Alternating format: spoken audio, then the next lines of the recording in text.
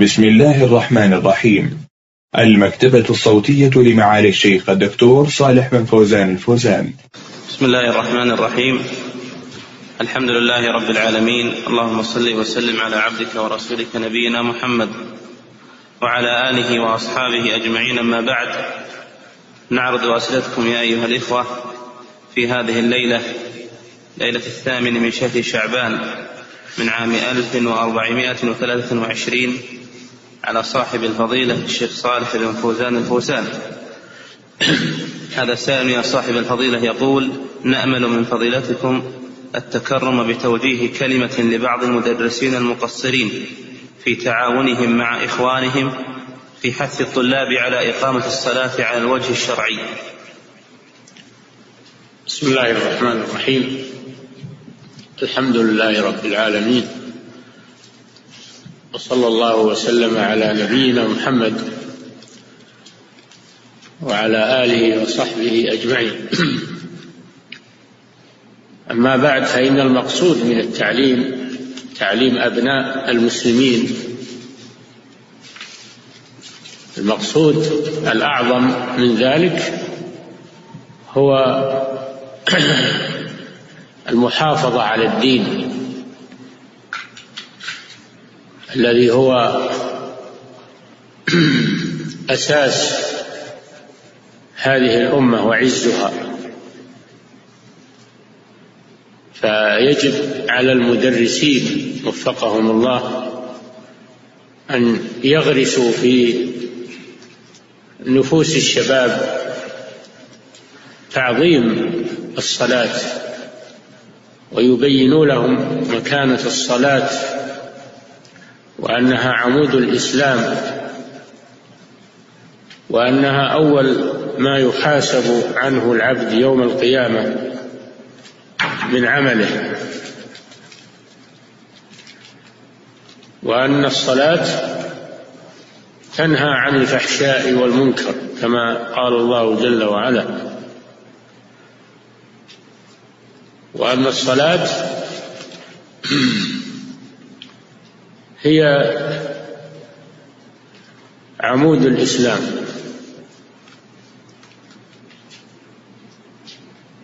عمود الإسلام هي الصلاة يقوم عليها الإسلام كما يقوم البنيان على العمود.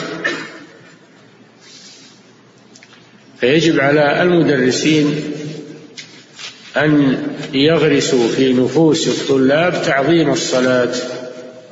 بالقول وبالعمل. بالقول بأن يبينوا لهم أهمية الصلاة ويعلموهم أحكامها وشروطها وأركانها واجباتها وأن يبينوا أن صلاة الجماعة واجبة على المسلمين فرض عين على كل مسلم. هذا بالقول. والعمل أن يجمعوهم على الصلاة ويتفقدوهم. إذا حان وقت الصلاة فإنهم ينصرفون إليها ويهيأ لهم المكان الذي يصلون فيه جميعا. وعلى المدرسين أن يتفقدوا المتخلف منهم. ويكون هناك جزاء على المتساهل والمتهاون. ولا يقول هؤلاء أطفال. هؤلاء وإن كانوا أطفالا فإنهم تعظم الصلاة في نفوسهم وينشأون على تعظيمها. والمحافظة عليها مع أن أغلب الطلاب قد بلغوا كبار. فعلى المدرسين أعانهم الله. لا شك أنهم سيلقون تعبا ويلقون مشقة ولكن عليهم الصبر. هذه أمانة تحملوها زيادة على أن المسلم يجب عليه أن يلاحظ أخاه المسلم في أي مكان وفي أي تعاون وياه على البر والتقوى. لكن المدرسون بالذات متحملون لواجب التربية والتوجيه. ولا شك أنهم إذا حزموهم على الصلاة وعودوهم عليها أن هذا سيسهل من قيادهم ويربيهم ويبعث في نفوسهم السكينة والطمأنينة. الصلاة تربي تربي على الخير. إن الصلاة تنهى عن الفحشاء والمنكر. فهي تعينهم. الله جل وعلا يقول واستعينوا بالصبر والصلاة. الصلاة تعين المدرسين على ضبط الطلاب لأن الصلاة نظام نظام دقيق. إذا التزموا به تعودوا على ما سواه من ضبط النظام والقيام بالواجبات الدراسية. فالصلاة تعين المدرسين على الطلاب في ضبطهم وفي غرس الأدب الطيب فيهم واحترام بعضهم لبعض. ما إذا تركوهم فوضى ويتساهلون في الصلاة إذا تساهلوا في الصلاة تساهلوا فيما سواها من باب أولى. ولهذا جاء في الحديث أن من حفظها حفظ دينه ومن ضيعها فهو لما سواها أضيع. فهذا أمر واجب والمدرسون لا شك أنهم يدركون هذا وأنهم يعلمون أنهم متحملون لأمانة عظيمة لكن هذا من باب التذكير لهم. تذكير لهم في أن يقوموا بهذا الواجب على الوجه الأكمل ويحتسبوا الأجر عند الله سبحانه وتعالى ويكونوا قدوة صالحة. ويتذكر أن الطالب يتذكر مدرسه دائما وابدا ويتذكر تصرفات المدرس معه طول حياته فإن كانت تصرفات المدرس معه تصرفات طيبة توجيهات حميدة فإنه يذكر هذا المدرس بخير ويدعو له. وإن كانت تصرفات المدرس تصرفات سيئة فإن هذا الطالب سيذكر هذا مدى حياته. وربما أنه يدعو على هذا المدرس الذي تساهل ما في حقه و ما زلنا نذكر مدرسين درسونا في الابتداء وفي غيره ما نزال نذكر كلماتهم الطيبة وما نزال نذكر توجيهاتهم وندعو لهم. فالمدرس ستبقى ذكراه في نفس الطالب. مدى حياته؟ نعم. أحسن الله إليكم صاحب الفضيلة. وهذا السائل يقول ما رأيكم حفظكم الله فيما يفعله البعض بحجز المكان في المسجد؟ ويسأل هل تسمح لنا بأن نحضر المسجل لنسجل دروسكم؟ أما حجز المكان في المسجد فهذا لا يجوز إلا إذا كان الذي يحجز المكان حاضرا في المسجد. إما أنه جالس في ناحية المسجد ويحجز مكانا في الصف أو أنه خرج لحاجة ويعود قريبا خرج يتوضأ خرج لحاجة آه، سريعة ويعود فلا بأس أنه يحجز من من قام من مكان ثم رجع إليه قريبا فهو أحق به حتى ولو لم يحجز. فكيف إذا حجز؟ أما إذا كان يحجز المكان ويخرج لأشغاله أو نومه ثم في الأخير يأتي هذا لا يجوز له. يحرم السابقين إلى المسجد وهو متأخر. لا يجوز له الحجز على هذه الصفة أنه يقول آه أمنت لي مكان ويروح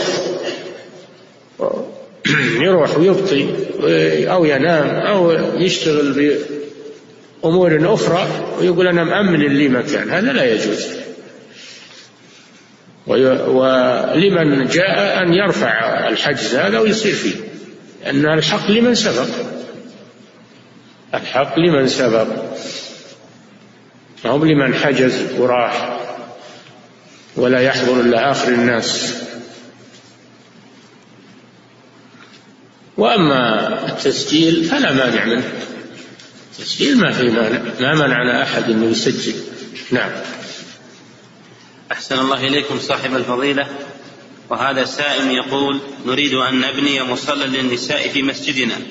ولكن لضيق الجهة الخلفية هل يجوز أن نبني ملحقا للنساء في الجدار المجارب المجاور للرجال بحيث يكون الفاصل بين الرجال والنساء جدار وتكون صفوف النساء مساوية لصفوف الرجال؟ السنة أن تكون النساء خلف الرجال ما تكون النساء محاذية للرجال وإنما تكون خلف الرجال. هذه هي السنة. فإذا كان ما في مكان في الخلف فلا هو ضروري إعداد مكان للنساء. إن كان يمكن أنه يحصل على مكان في مؤخرة المسجد وتعمل للنساء فلا بأس. نعم. أحسن الله إليكم صاحب الفضيلة. وهذه سائلة تقول أنا امرأة أخشى من العين. وأحيانا ألجأ إلى الكذب خوفا من العين وأنا حامل ولا أذهب إلى المناسبات خوفا من العين أرجو من فضيلتكم التوجيه وهل فعلي هذا جائز؟ لا ينبغي للإنسان أن يكون عنده وسواس ويخاف من العين وينحبس عن الناس بل عليه أن يتوكل على الله وأن يكثر من الذكر ذكر الله والورد. والله جل وعلا خير حافظا وهو أرحم الراحمين. لو أن الناس انساقوا وراء الوساوس والمخاوف ما خرج أحد من بيته. تعطلت الأشغال والأعمال. فعلى الإنسان أنه يتوكل على الله ويستعمل الورد والذكر. ولن يضره شيء إلا بإذن الله سبحانه وتعالى. أما الكذب فهذا لا يقي من العين إنما يقي من الكذب من العين ذكر الله سبحانه وتعالى والتوكل على الله وعدم الوساوس. نعم. أحسن الله إليكم صاحب الفضيلة. وهذا السائل يقول ما حكم تعلم القانون في كليات القانون؟ وهل يكون من تعلمه؟ وهل يكون ذلك من تعلم الطاغوت؟ نعم الواجب على المسلم أن يتعلم الشريعة. وأما القانون هذا قانون كفري يخالف الشريعة فلا يشتغل الإنسان به. لا يشتغل به. إلا لو كان متضلعا بالشريعة وعارف لأحكام الشريعة ويطلع على القانون لأجل إبطاله والرد عليه. لأجل إبطاله والرد عليه لا لأجل استعماله. والتوظف في العمل بالقانون هذا لا يجوز. لكن إذا كان متضلعا بعلوم الشريعة وأراد أن يطلع على الأنظمة المخالفة لها من أجل نقضها وبيان بطلانها ومحاربتها فلا بأس بذلك. نعم. أحسن الله إليكم صاحب الفضيلة. وهذا السائل يقول ما الحكم في زواج المسيار؟ وأرجو أن تحدثونا عن ذلك في التفصيل. الله سبحانه وتعالى شرع النكاح لما فيه من المصالح خلق الذكر والأنثى لأجل بقاء النسل ولأجل حماية الفروج من من الفساد. جعل هذا بين الزوجين لمصالح عظيمة. أولا حفظ الفروج والذين هم لفروجهم حافظون إلا على أزواجهم أو ما ملكت أيمانهم. فإنهم غير ملومين. فمن ابتغى وراء ذلك فأولئك هم العادون. يا أيها الناس اتقوا ربكم الذي خلقكم من نفس واحدة وخلق منها زوجها. هو الذي خلقكم من نفس واحدة وجعل منها زوجها ليسكن إليها. فالمرأة سكن للرجل والمرأة حرث للرجل نساؤكم حرث لكم. هي حرث للرجل يضع فيها يضع فيها ما يضع فينبت هذا الحرث ينبت هذا الحرث النسل والرجل يقوم على المرأة بالإنفاق يقوم على المرأة بالإنفاق والحماية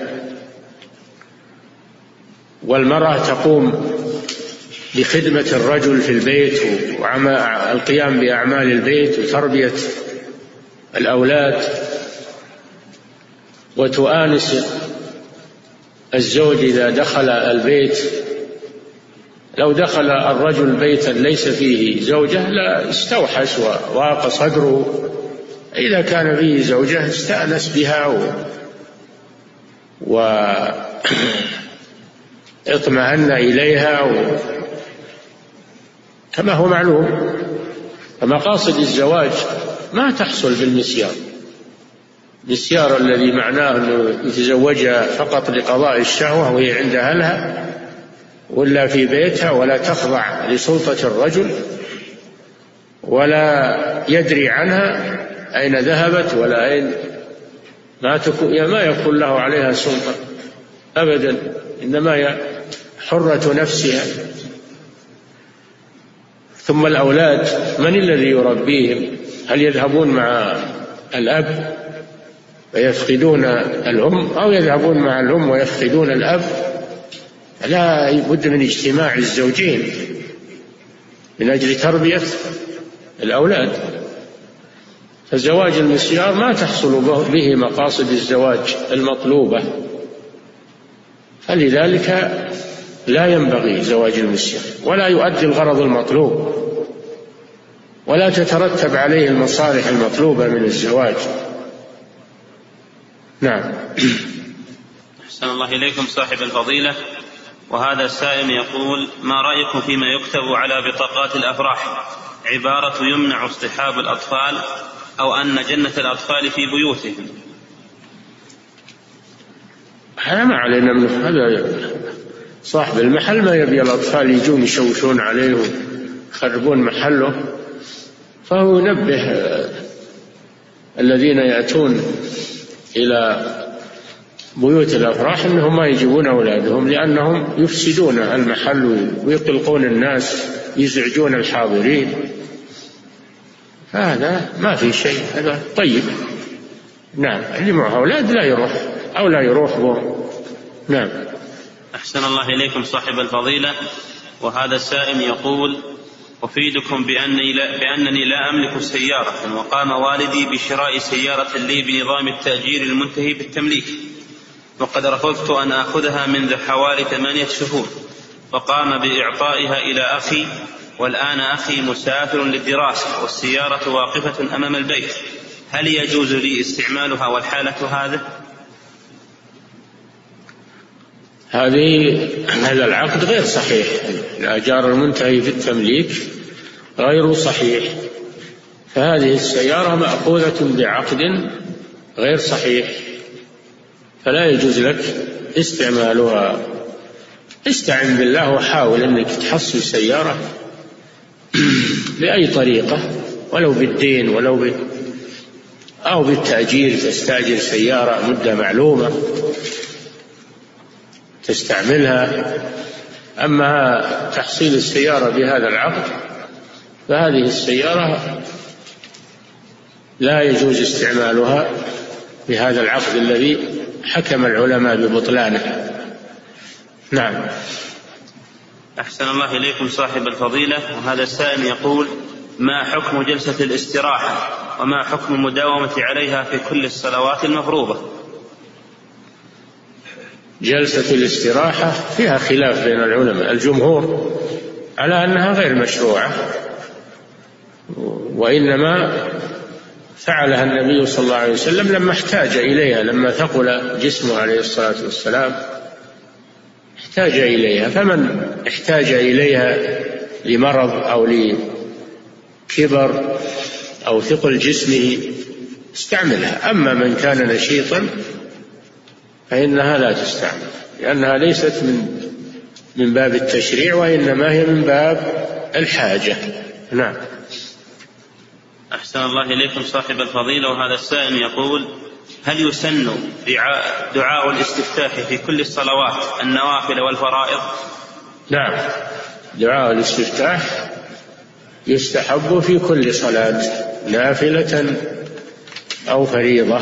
كان النبي صلى الله عليه وسلم إذا قام من الليل فإنه يستفتح تهجده بالدعاء المعروف. اللهم رب جبرائيل وميكائيل وإسرافيل فاطر السماوات والأرض عالم الغيب والشهادة أنت تحكم بين عبادك فيما كانوا فيه يختلفون. اهدني لما اختلف فيه من الحق بإذنك إنك تهدي من تشاء إلى صراط مستقيم. وجهت وجهي للذي فطر السماوات والأرض حنيفا وما أنا من المشركين إن صلاتي ونسكي ومحياي ومماتي لله رب العالمين لا شريك له بذلك أمرت وأنا أول المسلمين. ثم يستعيذ بالله من الشيطان الرجيم ثم يقرأ ثم يسمي ويقرأ الفاتحة ويقرأ بعدها القرآن. هذا في صلاة الليل. فالاستفتاح مشروع في صلاة الليل في النافلة وفي وفي الفريضة. نعم. أحسن الله إليكم صاحب الفضيلة. وهذا سائل يقول في الحرم المكي وفي شهر رمضان المبارك يقوم البعض بحجز مكانه من قبل صلاة المغرب ثم يخرج بعد الصلاة للعشاء فيطول خروجه. هل له الحق في حجز في حجز ذلك المكان؟ وهل لي إذا جيت وسبقت إليه أن أجلس في مكانه؟ هذا كما ذكرنا سابقا أنه يحجز ويبي يرجع إليه قريبا إنما خرج ليتوضأ يتعشى ويتوضأ ويرجع إليه فهو أحق به. إنما الذي يحجز مكان في, في المسجد الحرام طيلة الأيام لا لا يأتي فيه غيره كل رمضان أو كل العشر. هذا لا يجوز. أما أنه كل يوم أو كل ليلة يحجز له مكان وهو يعتبر معتكفا في المسجد الحرام يجلس فيه ويقرأ القرآن طول النهار فإذا جاء المغرب خرج وصلى خرج للوضوء وللعشاء هذا لا بأس به. ومن أجل الزحمة لو لم يحجز ما ما حصل على مكان. ولا يجوز لغيره أن أن يسبقه إليه. نعم. أحسن الله إليكم صاحب الفضيلة. وهذا السائل يقول سمعت من بعض الناس يقول إذا خرج وقت صلاة الفجر فإنها تصلى سرا. فهل هذا صحيح؟ لا ما هو صحيح. لو قضى صلاة الليل في النهار يجهر بها. لو قضى صلاة الليل في النهار لنوم أو نسيان فإنه يجهر بها لأن السنة الجهر بصلاة الليل. وقد فعله النبي صلى الله عليه وسلم لما صلى صلاة الفجر بعد ارتفاع الشمس في بعض أسفاره صلى صلاة الفجر على صفتها. نعم. أحسن الله إليكم صاحب الفضيلة. هذا السائل يقول توجد حلقات تحفيظ القرآن للنساء في أحد المساجد. وقد أفتى إمام المسجد بجواز دخول النساء للمسجد وأيضا قراءة القرآن أثناء أثناء الدورة الشهرية. فهل هذا صحيح؟ هذا غلط. هذه الفتوى غلط. لا يجوز للمرأة الحائض أن تدخل المسجد ولا الجنوب لأجل يجلس فيه. أما المرور يمر تمر الحائض مع المسجد أو الجنوب يمر مع المسجد لحاجة فلا بأس. فقد أمر النبي صلى الله عليه وسلم عائشة رضي الله عنها وهي حائض أن تناوله الخمرة من المسجد فدخولها المسجد لحاجة ولا تجلس مجرد مرور لا بأس. أما الجلوس لا بد من طهارة. النبي صلى الله عليه وسلم كما في الحديث يقول لا أحل المسجد لحائض ولا جنب والله جل وعلا يقول يا أيها الذين آمنوا لا تقربوا الصلاة وأنتم سكارى حتى تعلموا ما تقولون ولا جنبا إلا عابري سبيل حتى تغتسلوا. لا تقربوا الصلاة يعني لا تقربوا المسجد إلا عابري سبيل. يعني تأخذ حاجة وتمشي ما تعرف نعم.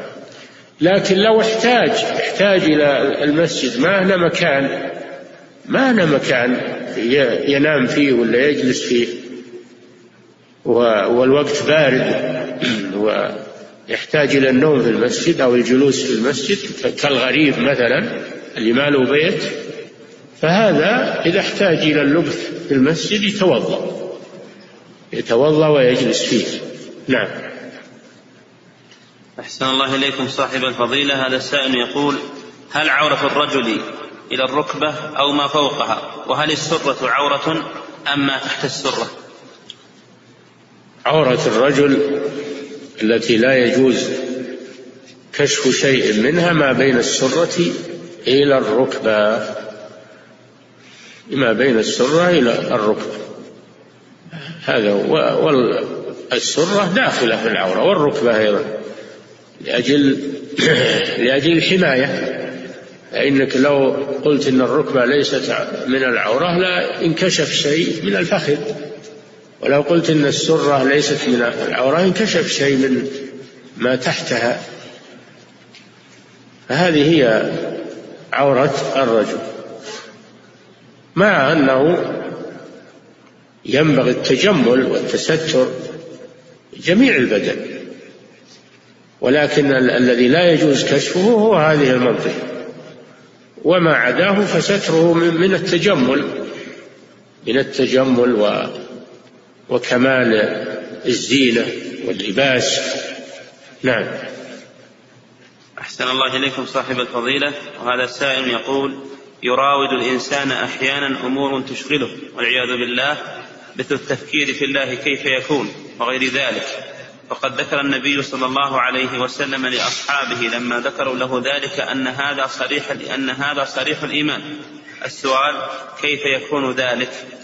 نعم صريح الإيمان إذا كره النطق به. ما ما جعله يكره النطق بهذا إلا الإيمان. هذا معناه. معناه أنه يكره أن ينطق بهذه الوساوس. هذا من الإيمان. ولو لم يكن فيه إيمان لنطق بهذا الكلام تفوى به. نعم. أحسن الله إليكم صاحب الفضيلة. وهذا السائل يقول ما قولكم في قراءة كتاب المحلى لأبي محمد بن حزم لطلاب العلم المبتدئين؟ كتاب المحلى كتاب جيد في في معلوماته وعلمه في الحديث والفقه. إلا أنه شديد اللذع في الانتقاد رحمه الله. فهذه ربما تجري بعض المبتدئين على الكلام في أهل العلم.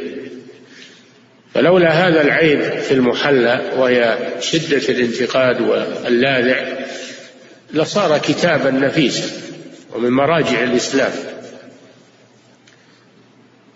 وفيه أيضا بعض الآراء بعض الآراء الظاهرية التي لا يوافق عليها مع شدة لذعه ونقده الذي يخرج عن المألوف.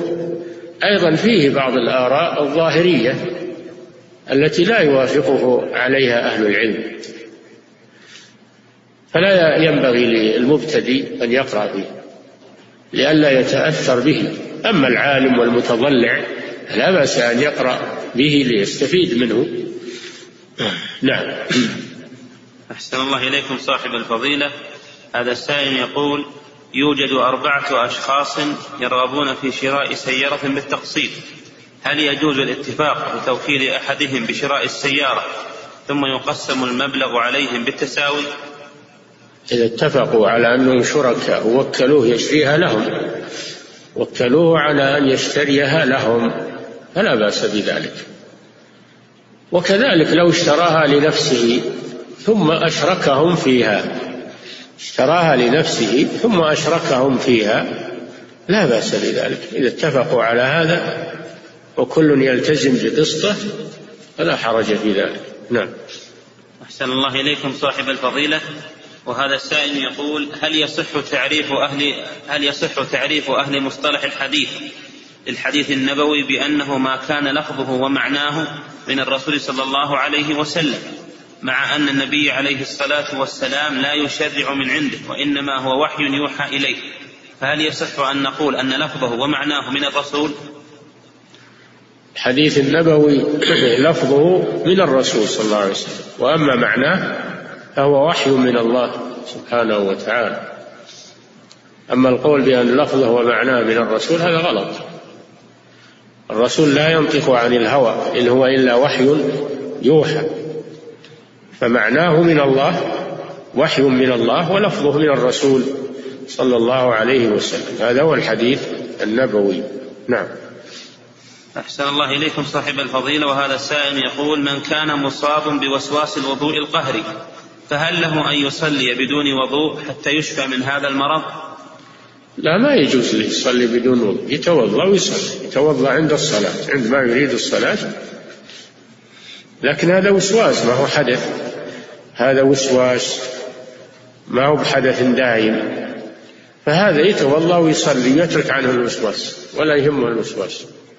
مرة مرتين ثم يذهب عنه بإذن الله. نعم.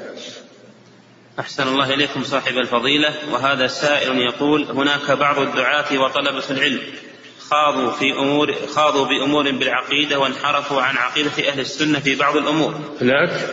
يقول هناك بعض الدعاة وطلبة العلم خاضوا بأمور بأمور بالعقيدة وانحرفوا عن عقيدة أهل السنة في بعض الأمور. السؤال هل نأخذ منهم العلم إذا كانت هذه طريقتهم؟ إذا صح هذا وله باتهام لأن الناس اليوم صاروا يتراشقون بالاتهام. وإذا بحثت ما وجدت له حقيقه إذا صح أنهم انحرفوا في بعض أصول العقيدة فلا يجوز الأخذ عنهم. هناك غيرهم ولله الحمد ممن ثبت على العقيدة فيؤخذ عنه أما من عرف عنه وثبت عنه أنه انحرف في بعض أصول العقيدة هذا لا يؤخذ منه حتى يتوب إلى الله عز وجل ويرجع إلى الصواب. لكن كما ذكرت لكم لا تكون المسألة تهمة لأن أكثر ما يقال الآن عن فلان وفلان اتهام وليس صحيحا. نعم يصير بينهم شيء في الأنفس ثم يتهم ويقول قال كذا. أو أنه قال كلاما ولم يفهمه هذا الشخص. وراح يحمله على الخطأ. الأمر يحتاج إلى تثبت وإلى روية في هذه الأمور. نعم. أحسن. الله إليكم صاحب الفضيلة. هذا السائل يقول نشر في إحدى الصحف خبر وهو عن تيس حلوب. وليس العجب ها هنا ولكن العجب ما ذكروه من أنه يشفي من حليبه كثيرا من الأمراض. من أنه يشفى في حليبه كثير من الأمراض كالضعف الجنسي وذكروا أنه يشفى سواء بشربه أو بمسحه على موضع الألم. إلى آخر ما ذكروا فهل هذا صحيح؟ والخبر عندي وأنا حاضر عندكم في الدرس. هذا من الكذب والتدجيل ونحن في آخر زمان يكثر التدجيل والكذب. ما عرف أن التيس يكون فيه حليب وأنه يشفى آه، من جميع الأمراض. هذا كله كذب وتدجيل لا يجوز تصديقه. نعم. أحسن الله إليكم صاحب الفضيلة وهذا سائل يقول إن معجزات الرسل السابقين غير باقية أما معجزة النبي صلى الله عليه وسلم فهي باقية. فما هو التوفيق بين أن القرآن سيعود إلى الله تعالى في آخر الزمان حين لا يقال الله الله؟ نعم. يبقى إلى أجل إلى أجل و ثم يرفع في آخر الزمان عند نهاية عند نهاية الدنيا عند نهاية الدنيا وقرب قيام الساعة. يرفع القرآن حين ذاك.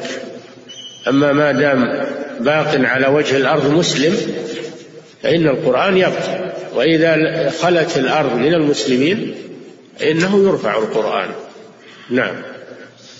أحسن الله إليكم صاحب الفضيلة. وهذا سائل يقول شخص يملك نصاب الزكاة ويحول الحول على هذا النصاب في نهاية شهر جماد الآخرة من كل سنة وأعطى هذا المبلغ لشخص للاتجار به ووكله بإخراج الزكاة. ولكن الشخص الموكل يخرج الزكاة على تجارته في رمضان من كل سنة. ويخرج لهذا الشخص معه في رمضان. فماذا يفعل صاحب المال في الفرق وهو ثلاثة أشهر؟ علما بأنه أخرج الزكاة له لمدة سنتين.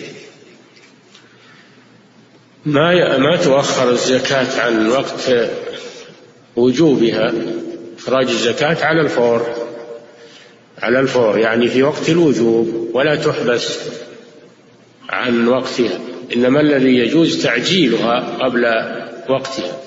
تعجيل جائز أما التأخير فلا يجوز إلا في حالة العذر كأن لم يكن عنده مال في الوقت الحاضر فتبقى الزكاة في ذمته إلى أن يجد المال فيخرجه.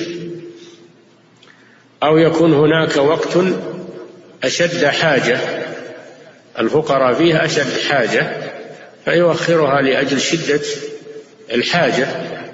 فلا بأس. أما أن يؤخرها من أجل أنه أعطاها لواحد وهذا الواحد ما يزكي إلا في رمضان هذا ليس بعذر. يزكيها صاحبها والواحد لا يكون له علاقة بالزكاة زكاة عن الغير. يزكي صاحب المال ماله عند تمام الحول ولو كان في يد واحد يضارب به والآخر يزكي ماله هو ولا يزكي مال شريكه بالمضاربة.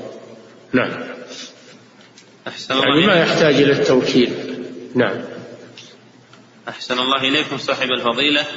وهذا السائل يقول ما حكم الصلاة في المساجد التي فيها أضرحة؟ وهل تعاد الصلاة ولو لم يقصد المصلي الضريحة؟ وإذا سافر إنسان إلى بلد غربة ومساجدها فيها أضرحة فهل يصلي منفردا في بيته إذا لم يجد مكانا يصلي فيه خال من هذه الأشياء؟ نعم. لا تجوز الصلاة في المسجد الذي فيه قبر لأن النبي صلى الله عليه وسلم نهى عن الصلاة عند القبور ونهى عن اتخاذ المساجد على القبور. نهى عن الصلاة إلى القبور وبناء المساجد على القبور لأن هذا وسيلة من وسائل الشرك. ولو كان المصلي لا يقصد القبر لكن فعله ذا وسيلة. هذا من ناحية. الناحية الثانية أن النهي يقتضي الفساد. فما دام النبي صلى الله عليه وسلم نهى عن الصلاة عند القبور فالنهي يقتضي الفساد. فلا تجوز تصح الصلاة في المساجد التي فيها قبور. وعلى من صلى أن يعيد الصلاة.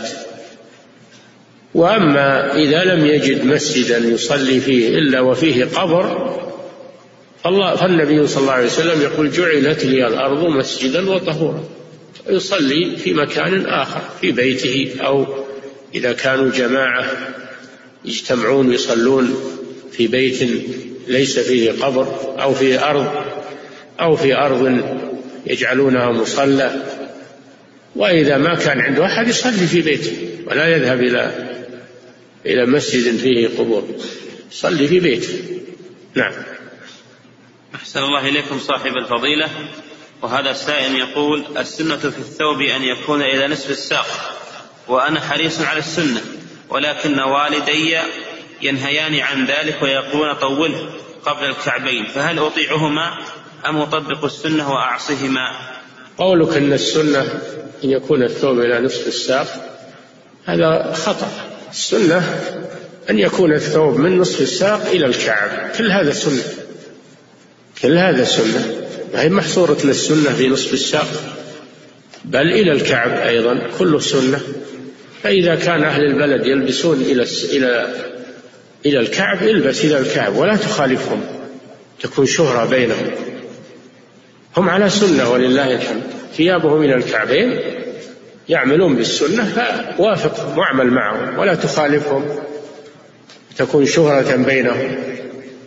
فأنت مخطئ في هذا والوالدان مصيبان في هذا. يقولون خليك مثل أهل البلد وأهل البلد على سنة يلبسون إلى الكعب ولا ينزل عن الكعب نعم. أحسن الله إليكم صاحب الفضيلة. وهذا السائل يقول هناك بطاقة جوال جديدة. قيمتها 300 ريال وهي للاستقبال فقط ولمدة سنة. فهل تأخذ عندكم حكم بطاقة سواء والله كثرت مسائل الاحتيال و يتسابقون في المعاملات اللي مشبوهة وفيها احتيالات وفيها مغامرات وفيها رهان. كثرت هذه الأمور. فأرى أنكم تجنبون الأشياء هذه. تستعملون الجوال استعمالا عاديا ولا تدخلون في هذه الأمور. هذا أبرأ للذمة وأبعد عن هذه الأمور. التي أقل أحوالها أنها مشتبهة مع أنها من الرهان ومن أكل أموال الناس بالباطل ومن آه، المعاملات التي ما تنزلها على شيء من المعاملات الصحيحة. معاملات غريبة. يبتكرونها ويخترعونها. نعم. أحسن الله إليكم صاحب الفضيلة. قلتم حفظكم الله إن بطاقة الاتصال سوى حرام لوجود الضرر على المشترك فيها فإذا كان المشتري لها متأكد تماما أنه سوف ينهي قيمة البطاقة. فهل يختلف الحكم عندئذ؟ لا. لا بأس إذا كان يبي ينهيها. إذا كان يبي يشتريها وينهيها قبل الأجل اللي هم حددين فلا بأس. أما إذا كان يبي يشتريها ويبي يأتي الأجل وهي ما خلصت أو ما استعملها وتروح عليه هذا لا يجوز لأنه من إضاعة المال. نعم. أحسن الله إليكم صاحب الفضيلة. وهذا السائل يقول أنا وضعت النعلين في المسجد ولما خرجت من المسجد لم أجدهما ولكن وجدت نعلين آخرين. هل يجوز لي أن ألبسهما؟ وما ذنب صاحب النعلين تاخذ نعليه ما ذنبه؟ ما يجوز لك هذا. يخلق الله عليك راحة النعلان الخاصان بك التمس اشتر غيره غيرهما ولا تأخذ نعال الناس. نعم. أحسن الله إليكم صاحب الفضيلة. وهذا السائل يقول عندنا معتقد شائع وهو أنهم يعتقدون أنه من السنة سقي المحتضر بالماء قبل موته فهل هذا صحيح؟ لا ذكر الفقهاء رحمهم الله أن المحتضر يبل تبل شفتاه بالماء بقطنة وبعضهم ينقط في لأنه يصيبه عطش يصيبه حرارة هذا مما يسهل عليه السياق يسهل عليه العطش فلا بأس بذلك أنه يعطى شيء من الماء الخفيف وتندى شفتاه بالقطنة لأنها تيبس من شدة الألم ومن شدة الكرب. فهذا من التسهيل عليه. نعم تسهيل على الميت. نعم. أحسن الله إليكم صاحب الفضيلة. وهذا السائل يقول ما حكم زيارة القبور من قبل النساء؟ لا تجوز زيارة القبور للنساء. لأن النبي صلى الله عليه وسلم لعن زوارات القبور وفي رواية لعن زائرات القبور والمتخذين عليها المساجد والسرج والحديث في سنن أبي داود وهو حديث لا بأس به. فلا تجوز زيارة القبور للنساء لهذا الحديث ولأن المرأة ضعيفة إذا رأت قبر قريبها أو ابنها أو أبيها ربما يحملها ذلك على الجزع والنياحة فيحصل منها ما لا تحمد عقبه لضعفها. وأيضا المرأة عورة وفتنة إذا ذهبت إلى المقابر واختلطت بالرجال يحصل في هذا فتنة. وحيحصل في هذا شر كما يذكر في البلاد التي تزور النساء فيها القبور ويزورها الرجال ويختلطون ويحصل مواعيد ويحصل فساد. فبناء على ذلك المرأة لا تزور القبور وإنما تدعو للميت وهي في مكانها. تدعو له وتستغفر له وهي في مكانها ما يحتاج زيارة للمرأة. نعم. أحسن الله إليكم صاحب الفضيلة وهذه وهذا السائل يقول زوجتي ترضع ابني وعمره أربعة أشهر. كيف تصنع في رمضان؟ هل تصوم أم تفطر؟ إذا كان الطفل يتضرر من الصوم وينشف عليه اللبن أو المرأة تتضرر في صحتها ما تستطيع الصيام والإرضاع فإنها تفطر. تفطر وتقضي من أيام أخرى كما أفتى بذلك علماء السلف تفطر تفطر وتقضي من أيام أخرى. أفتى به كثير من الصحابة. وإذا كان الخوف على الولد فقط فإنها مع مع القضاء تطعم عن كل يوم مسكين. وإذا كان الخوف عليها هي على صحتها فإنها تقضي فقط. نعم. وليس عليها إطعام. نعم. أحسن الله إليكم صاحب الفضيلة. وهذا السائل يقول هل يجوز للمرأة أن تجلس مع عم زوجها وخال زوجها إذا كان معها زوجها وهي محتجبة لكنها ظاهرة وكاشفة الوجه؟ إيه؟ لا ما يجوز لك تكشف الوجه عند أقارب زوجها لأنهم أجانب منها. تجلس وهي متحجبة. لماذا تكشف تجلس وهي متحجبة وتكون على حدة أيضا. ما تجلس إلى جانب الرجل الذي ليس آه، يحل لها أو ليس من محارمها. تجلس آه، بعيدة عن الرجل عن الرجال وتكون محجبة. ولا بأس أن تتحدث معهم وأن تستمع إلى كلامهم. ما في بأس. نعم. أحسن الله إليكم صاحب الفضيلة. هذا سائل يقول هل يجوز أن تسمى البنت باسم إخلاص؟ وهل يجوز أن نطلقه على البنات؟ لا بأس. الأصل في الأسماء الإباحة إلا ما نهى عنه الرسول صلى الله عليه وسلم وهو تعبيد لغير الله تعبيد لغير الله كعبد العزى أو عبد الكعبة أو عبد الحسين أو عبد الرسول صلى الله عليه وسلم. كما قال ابن حزم رحمه الله أجمعوا على تحريم كل اسم معبد لغير الله. حاشا عبد المطلب. فيحرم تعبيد لغير الله. وكذلك يكره التسمية بالأسماء المكروهة مثل كعب ومرة وعلقمة. هذه مكروهة. وأما الأسماء التي ليس فيها كراهة وليس فيها تعبيد لغير الله وكلها جائزة. على الأصل الحمد لله. يجوز أن تسمى المرأة البنت إخلاص تسمى إيمان. لا بأس بذلك. نعم. أحسن الله إليكم صاحب الفضيلة. وهذا السائل يقول ما حكم الحلف بحق البيت ومكانة البيت وكذلك الحلف بحق النبي وجاه النبي صلى الله عليه وسلم. لا يجوز هذا حلف بغير الله. قد قال صلى الله عليه وسلم من حلف بغير الله فقد كفر أو أشرك.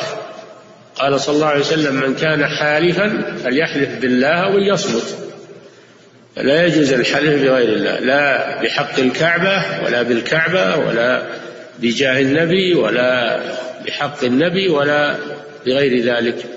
لا يجوز الحلف إلا بالله أو صفة من صفات الله سبحانه وتعالى أو اسم من أسمائه بالله أو باسم من أسمائه أو صفة من صفاته سبحانه وتعالى. هذا هو الحلف المشروع. وأما الحلف بغير الله فهو الشرك شرك أصغر. إلا إذا اعتقد أن المحلوف به له مكانة تساوي مكانة الله جل وعلا فهذا شرك أكبر. أما إذا لم يعتقد هذا فهذا شرك أصغر وهو من الشرك في الألفاظ. شرك أصغر. نعم. أحسن الله إليكم صاحب الفضيلة. وهذا سائل يقول إمام عرض له عارض في الركعة الأولى قبل الركوع فقطع صلاته وقدم أحد الداخلين للمسجد. السؤال ما حكم إمامة المسبوق لغيره ممن دخل مع الإمام من أول صلاته؟ إذا عرض للإمام عارض واستخلف من يكمل الصلاة فلا بأس بذلك. عمر رضي الله عنه لما طعن فيها أثناء الصلاة استخلف عبد الرحمن بن عوف رضي الله عنه فأكمل الصلاة. يجوز للإمام أن يستخلف من يكمل الصلاة إذا عرض له عارض لا يستطيع معه الاستمرار في الصلاة. والمأمومون تصح صلاتهم كلها خلف الأول وخلف الثاني. نعم. أحسن الله إليكم صاحب الفضيلة. وهذا السائل يقول أنا طالب في كلية العلوم الإدارية ومن مواد دراستنا التأمين التجاري وما يسمونه بالفوائد البنكية مع العلم أنه لم يبق لي سوى سنة واحدة في دراستي. فما حكم الدراسة في هذه الكلية؟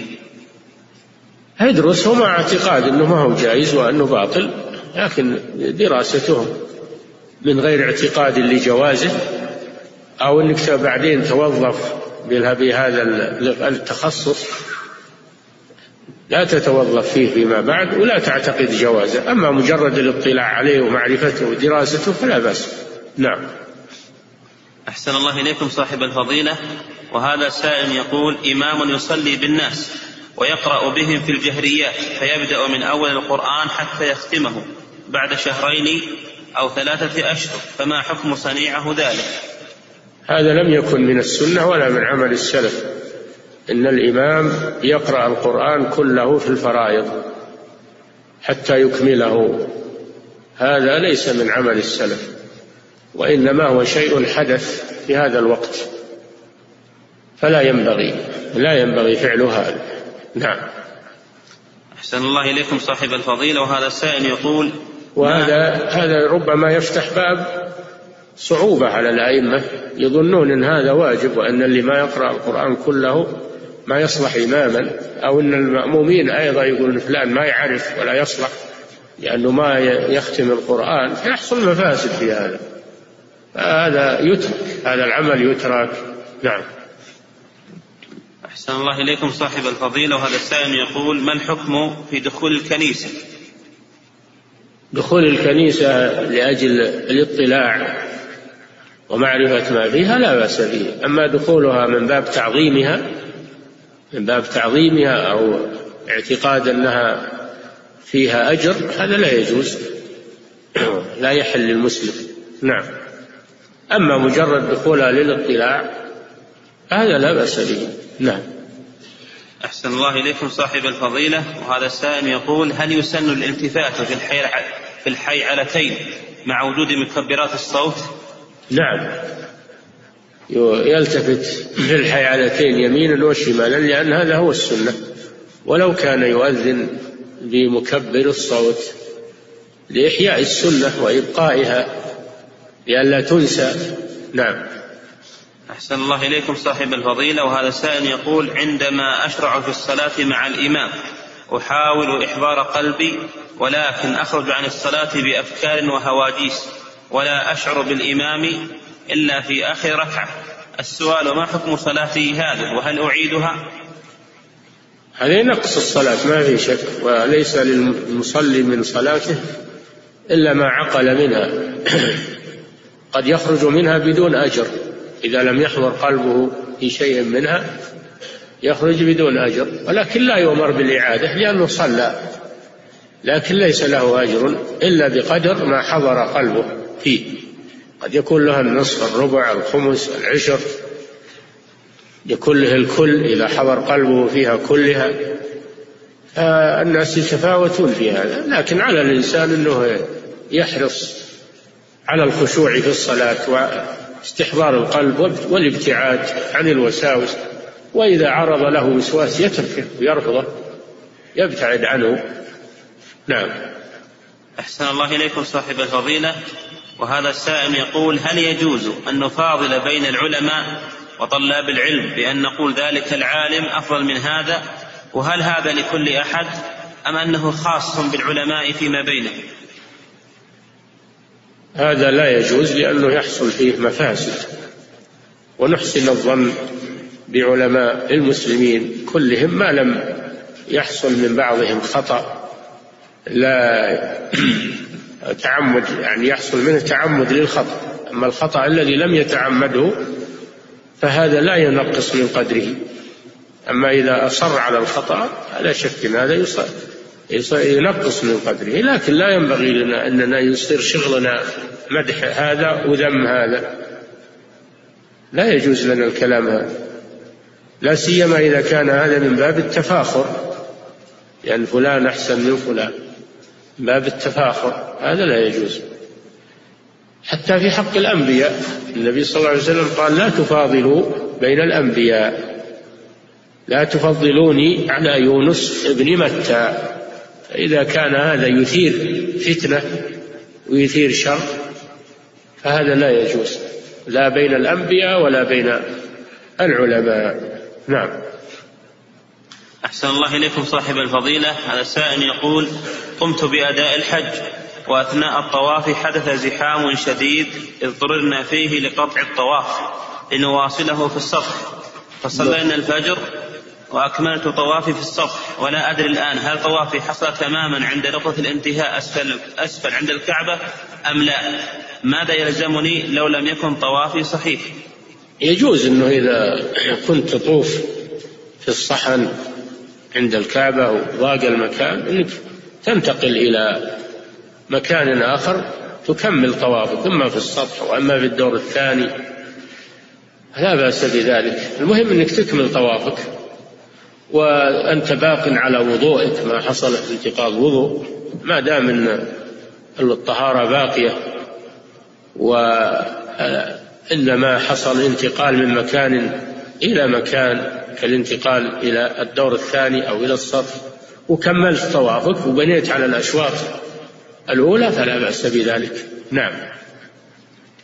أحسن الله إليكم صاحب الفضيلة. هذا السائل يقول شخص لم يختتن. وبلغ من العمر ستين عاما. ماذا يجب عليه؟ وما حكم تزويجه أو زواجه؟ وهو الآن عنده أطفال. إذا كان يخاف على نفسه من الاختتان فإنه لا لا يختتن.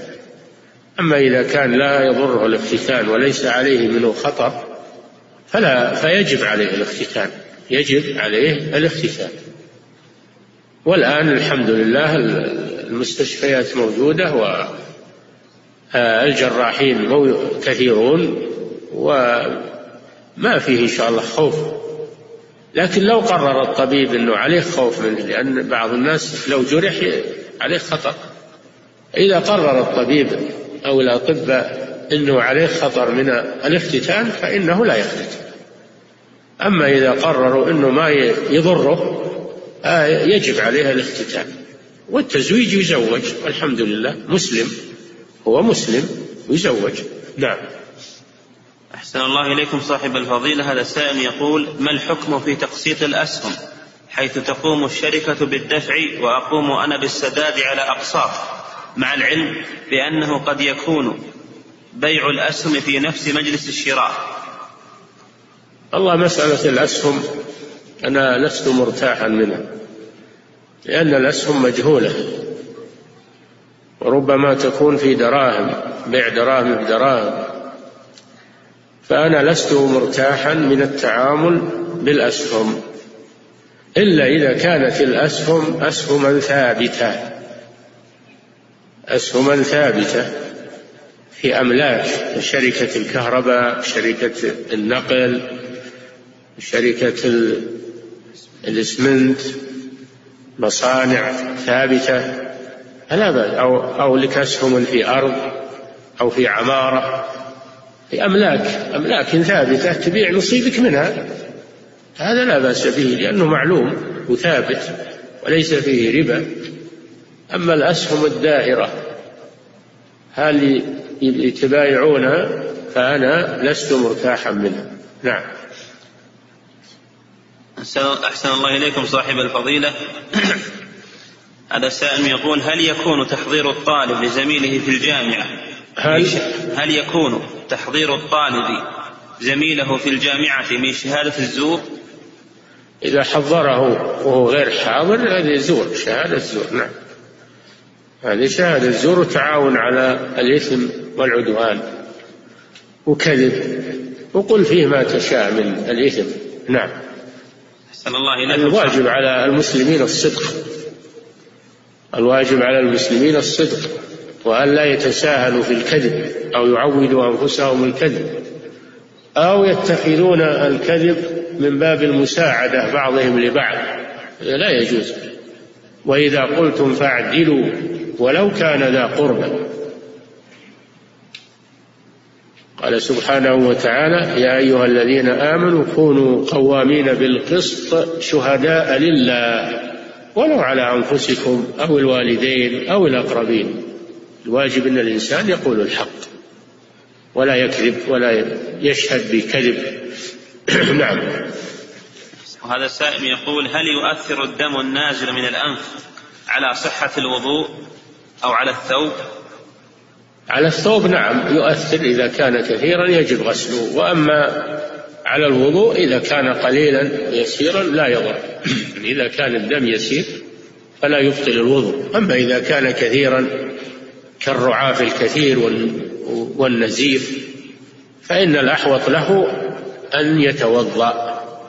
الأحوط له أن يتوضأ لأن كثيرا من العلماء يرون أنه ينقض الوضوء إذا كثر لأنه خارج من الجسد استفراغ من الجسد كالقيء. وكالفضولات النجسة التي تخرج من الجسد فهو ينقض الوضوء. وبعضهم يرى أن الدم لا ينقض الوضوء ولو كثر لأن عمر رضي الله عنه لما طعن أكمل الصلاة وهو ينزف من الدماء. والصحابة كانوا في القتال والجهاد تنزف دماؤهم ويصلون. لكن مع هذا الأحوط أن الإنسان يتوضأ ويغسل الدم من جسمه أو من ثوبه. نعم. أحسن الله إليكم صاحب الفضيلة. وهذا السائل يقول ما حكم صلاة الجنازة داخل المقبرة؟ نعم. ما حكم صلاة الجنازة داخل المقبرة؟ لا بأس بذلك. تجوز الصلاة على الجنازة داخل المقبرة والصلاة على القبر. إذا فاتت الصلاة عليه قبل الدفن قد صلى النبي صلى الله عليه وسلم على القبر فلا بأس بذلك. إنما الممنوع الصلاة غير الجنازة هذا هو الممنوع. نعم. أحسن الله إليكم صاحب الفضيلة. وهذه سائلة تقول إذا لفت المرأة شعرها وضعته خلف رأسها في قفاها لا فوقه هل يشملها الوعيد؟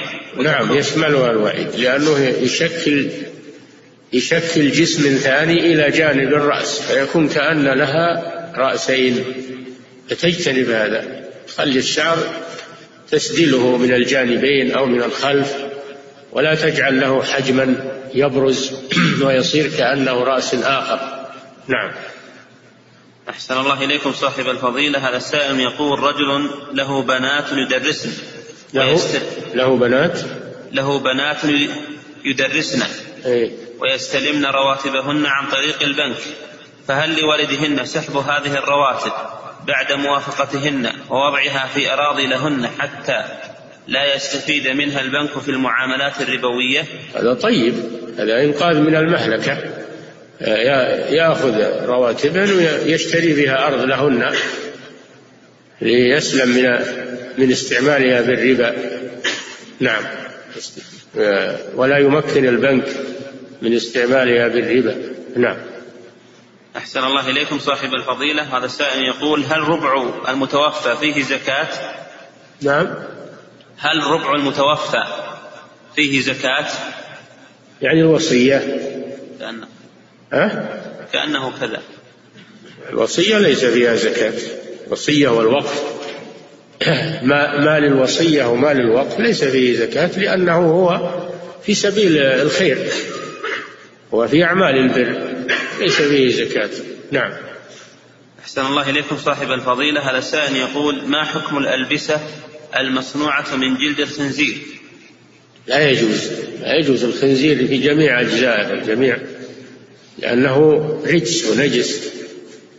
لا يجوز استعمال الألبسة المنسوجة من الخنزير أو الجلود المستعملة أو جلود الثعابين أو جلود السباع. لا يجوز استعمالها لا حقائب ولا آه ولا غير ذلك ولا أحذية ولا خفاف ولا غير ذلك. أنها نجسة العين. نجسة العين. نعم. أحسن الله إليكم صاحب الفضيلة. وهذه سائلة تقول هل المرأة يجب عليها أثناء الوضوء المسح على الرأس كاملا ثم الرجوع لأن ذلك يشق علينا؟ خاصة إذا كان شعرنا طويلا ونضطر إلى التمشيط بعد كل بعد كل وضوء. وما هو الواجب مسح الشعر الطويل النازل؟ الواجب أن تمسح ما على رأسها فقط. أما النازل هذا لا تمسحه. تمسح ما يحاذي الرأس فقط ما يحاذي رأسها من الأمام إلى القفا. وإذا سهل عليها أن تذهب بيديها إلى القفا وترجعهما إلى الأمام. هذا هو السنة. هذا هو السنة. وإذا أنه يشق عليها فالواجب أن تمسحه مسحة واحدة من الناصية إلى القفا. نعم. أحسن الله إليكم صاحب الفضيلة. وهذه السائلة أخرى تقول ورد وعيد شديد لمن نزعت ثيابها في غير بيت زوجها. هل معنى ذلك أن المرأة لا تنزع ثيابها في بيت أختها وعمتها ومن تثق بهم وكذا في المشاغل وقصور الأفراح؟ اي نعم البيت, البيت اللي فيه رجال ليسوا من محارمها لا تنزع ثيابها فيه. ولو ولو بيت أختها وبيت عمتها وخالتها ما دام فيه رجال غير محارم فإنها لا تنزع ثيابها فيه بل تحتجب تتستر أما إذا كانت في مكان خال من الرجال في مكان خال من الرجال ليس فيه إلا نساء فلا بأس. نعم. أحسن الله إليكم صاحب الفضيلة. هذا السائل يقول ما حكم التحاف شخصين بغطاء واحد؟ هذا بين الزوجين بس إلا غير الزوجين ما يجوز. لقوله صلى الله عليه وسلم وفرقوا بينهم في المضاجع. نعم. أحسن الله إليكم صاحب الفضيلة. هذا السائل يقول حديث الآحاد المحتف بالقرائن. هل يفيد غلبة الظن مع وجوب العمل به أم يفيد العلم؟ الحديث الصحيح الثابت عن النبي صلى الله عليه وسلم يفيد اليقين سواء كان متواترا أو آحادا. ولو لم تحتف به قرائن إذا كان صحيح فإنه يفيد العلم واليقين وإنما المبتدعة وأهل الضلال هم اللي يقولون أنه ما يفيد اليقين بل عندهم حتى القرآن ما يفيد اليقين. الأدلة السمعية يسمونها السمعية عندهم ما تفيد اليقين. إنما الذي يفيد اليقين أدلة العقل بزعمهم هذا كلام باطل. فما صح عن رسول الله صلى الله عليه وسلم متواترا أو آحادا فإنه يفيد اليقين. لأنه صلى الله عليه وسلم لا ينطق عن الهوى إن هو إلا وحي يوحى. نعم. أحسن الله إليكم صاحب الفضيلة. وهذا سائل يقول ما حكم تخصيص يومي الخميس والجمعة بالصيام؟ لأنه لا يمكننا الصيام خلال الأيام بسبب الدراسة. الوارد في الأسبوع صوم يوم الاثنين. والخميس. الوارد صوم يوم الاثنين والخميس. هذا هو الأفضل لأنه يومان ترفع فيهما الأعمال إلى الله سبحانه وتعالى. فتعرض أعمال العبد وهو صائم هذا أفضل. وإذا كان ما يستطيع يصوم الاثنين والخميس ولا يستطيع إلا واحد منهما يصوم اللي يقدر عليه يصوم الاثنين أو يصوم الخميس. وأما صوم يوم الجمعة فهذا مباح. مباح إلا أن بعض العلماء آه، يرى أن الأفضل عدم الصوم يوم الجمعة لأن يوم الجمعة يوم صلاة يوم عيد يكون الإنسان مفطرا فيه. نعم. أحسن الله إليكم صاحب الفضيلة. هذا السائل يقول اشتريت أرضا قبل خمس سنوات بمبلغ خمسة وعشرين ألفا. نعم. هذا السائل يقول اشتريت أرضا قبل خمس سنوات بمبلغ خمسة وعشرين ألفا لغرض التجارة ثم ازدادت قيمة الأرض بشكل متفاوت والآن تساوي حوالي مئة ألف. كيف أزكيها؟ لأني لم أزكها منذ اشتريتها. إذا كنت ناويها للبيع. فإنك تزكيها كل سنة كل ما تم عليها سنة تزكيها. وطريقة الزكاة أنك تثمنها باللي تساوي بالسعر الذي تساويه على رأس السنة تخرج ربع العشر. وإذا مضت عليها سنوات وأنت لم تزكيها فإنك تقدر قيمتها في كل سنة وتحسب الزكاة منها. ولا تسقط عنك الزكاة في السنوات الماضية تجتهد في تقدير ثمنها كل سنة وتجمل زكاة السنوات جميعا وتخرجها نعم. أحسن الله إليكم صاحب الفضيلة. على السائل يقول في الحديث ما ساء عمل أمة قط إلا زخرفوا مساجدهم والكثير من المساجد مزخرف بنقوش وآيات حتى مساجد كثير من طلبة العلم والعلماء. والسؤال ما رأيكم بهذه الظاهرة؟ وهل هذه كانت سيرة السلف في مساجدهم؟ لا الحمد لله مسجدنا ما فيه زخارف ولا فيه كتابات. والمساجد اللي فيها زخارف وفيها كتابات هذا مكروه بلا شك. يكره زخرفة المساجد والكتابات فيها لأن هذا يشغل المصلين بالنظر في هذه الزخارف ولأنه من المباهات والمباهات في أمور العبادة وأمور مشاريع الخير إذا كان القصد المباهات والمدح. هذا لا يجوز. فينبغي أن المساجد تخلو من هذه النقوش وهذه الكتابات وهذه. المسجد ما هو بمتحف. المسجد بيت عبادة وذكر لله عز وجل.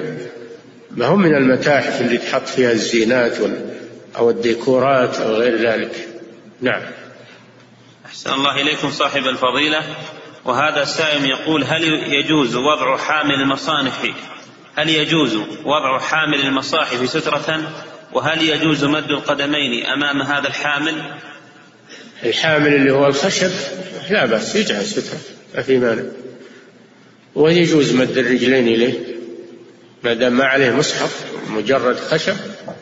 فلا مانع من استعماله سترة ولا مانع من مد الرجلين عليه بل لا مانع من وضع الرجلين عليه. نعم. أحسن الله إليكم صاحب الفضل أحسن الله إليكم صاحب الفضيلة. هذا السائل يقول هل تحديد الصلاة على النبي صلى الله عليه وسلم في يوم الجمعة بألف مرة له فضل؟ وهل ورد فيه شيء؟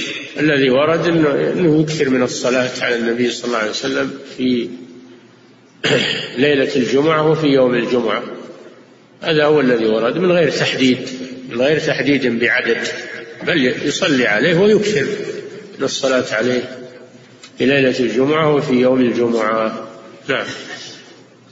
أحسن الله إليكم صاحب الفضيلة. وهذا سائل يقول في قول النبي صلى الله عليه وسلم من أحب أن يتمثل له الناس قياما فليتبوأ مقعده من النار. ما المقصود به؟ المقصود إذا أحب أن يقوم عليه وهو جالس أن هذا فعل الفرس والمجوس والمستكبرين. فإذا كان هو جالس وهم قائمون عليه لأجل الأبهة هذا لا يجوز. أما إذا كانوا قائمين عليه من أجل الحراسة مثل ولاة الأمور اللي يتخذون الحراس ويقومون عليهم هذا لا بأس لأن هذا من باب الوقاية. هذا من باب الوقاية. وكذلك إذا قاموا يسلمون عليه دخلوا قاموا يسلمون عليه لا بأس. النبي صلى الله عليه وسلم قال للأنصار قوموا إلى سيدكم. لما قدم سعد بن معاذ رضي الله عنه محمولا على حمار قال قوموا إلى سيدكم. قاموا يستقبلونه ويسلمون عليه. فإذا قاموا للسلام عليه ومصافحته فهذا شيء طيب. إنما الكلام على أن يقوموا عليه وهو جالس من باب الأبهة لا من باب الحراسة والحاجة. نعم. أحسن الله إليكم صاحب الفضيلة. وهذا سائل يقول ما حكم الصلاة بين خطبتي الجمعة؟ لا تشرع الصلاة بين الخطبتين إلا لمن دخل. لمن دخل المسجد والإمام يخطب أو بين الخطبتين.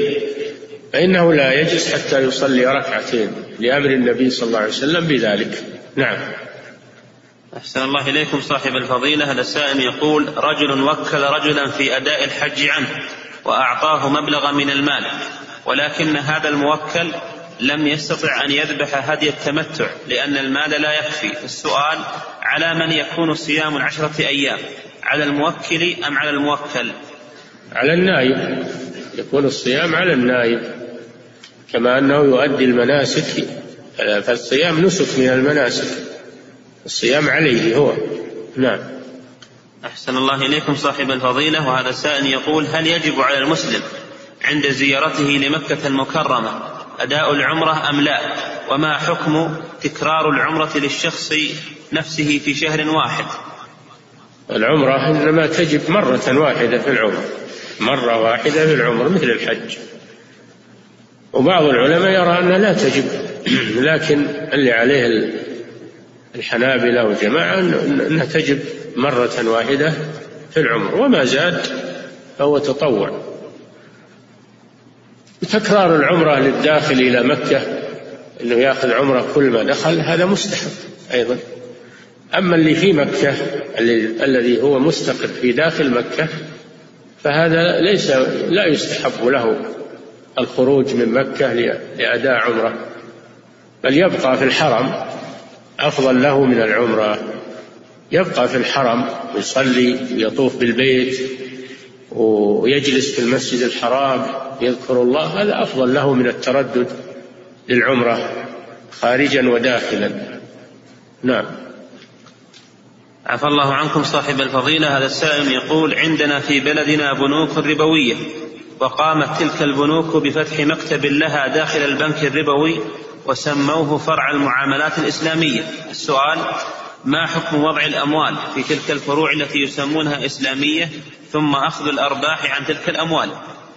ما يجوز هذا إلا إذا تأكدتم أنها تتعامل بالمعاملات الشرعية التي ليس فيها ربا ليس فيها حرام.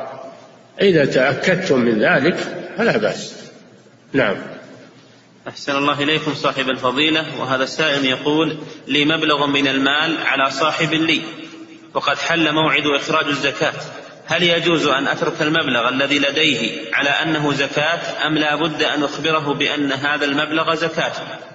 لا لا ما ما يجوز إسقاط الدين عن الزكاة، الزكاة لا بد من دفعها. لا بد من دفعها، قال الله تعالى: وآتوا الزكاة أي ادفعوها إلى مستحقيها، فلا يكفي إسقاط الدين عنها. نعم. أحسن الله إليكم صاحب الفضيلة. وهذا سائل يقول: هناك من يدرس كتاب رسالة المسترشدين لمؤلفه الحارث المحاسبي فما رأي فضيلتكم بهذا الكتاب؟ وما رأيكم في كتاب الرسالة القشيرية حيث اشتريته؟ فهل تنصحوني بقراءته؟ أما الرسالة القشيرية فلا تصلح لأن القشيري هذا من من الصوفية ومن المعادين لأهل السنة كما رد عليه شيخ الإسلام في في بعض كتبه في كتاب الاستقامة. وأما المحاسبي فهذا أيضا غير مرغوب فيه. الإمام أحمد هجره لما عنده من الأفكار. المخالفة لمذهب أهل السنة. فلا ينبغي اقتناء كتب هذين الرجلين خصوصا للمبتدئ الذي ليس عنده بصيرة. نعم. أحسن الله إليكم صاحب الفضيلة. وهذا سائل يقول قال أحد المؤلفين في مقدمة كتابه إنني ألفت هذا الكتاب تقربا لرسول الله صلى الله عليه وسلم والتماسا لمرضاته وشفاعته. فهل هذا القول من الشرك؟ اي نعم. اللي تقرب إلى الرسول هذا شرك. تقرب إلى الله سبحانه وتعالى. تأليف الكتاب هذا هذا عبادة. إذا كان من الكتب الشرعية فهو عبادة. لا يجوز أن يتقرب به إلى الرسول صلى الله عليه وسلم. ويقول ألتمس رضا الرسول. هذه عبادة للرسول صلى الله عليه وسلم. هذا شرك. وإنما يتقرب به إلى الله وإلى طلب رضا الله سبحانه وتعالى. نعم. أحسن الله إليكم صاحب الفضيلة. وهذه سائلة تقول ما حكم وضع المكياج للنساء وتشطير الحواجب؟ وهل هذا من تغيير خلق الله؟ أما تشطير الحواجب فلا يجوز لأنه من العبث في الحواجب ومن تغيير خلق الله.